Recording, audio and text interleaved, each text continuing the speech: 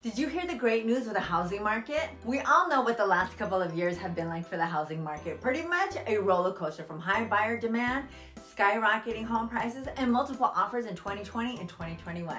Then a huge market shift in 2022 with a slower market and higher mortgage rates. Can we all agree that it's been a crazy ride? But guess what? Experts are now forecasting a turnaround in the market for this year. Hi, I'm Tanja Odzak, our East Bay home by eXp Realty, and I sell homes in Oakland, Berkeley, and the San Francisco East Bay on both sides of the Caldecott Tunnel. As we move into the year, there are signs that things are finally turning around. Recent reports show home price appreciation slowing from the frenzied prices, making housing more affordable, mortgage rates are coming down, and inflation is easing. All of this is causing overall market activity to pick up.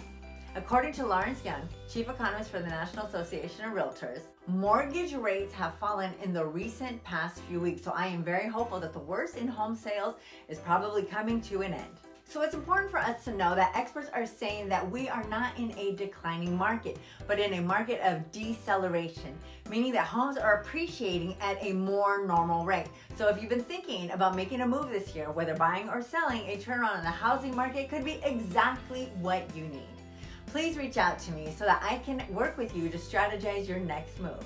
And if you need to sell your home, then make sure you ask me about my tiered home selling plans where you get to pick which real estate services you want and the fee that you pay. Most of them offering my super duper digital marketing that no one else does in our area.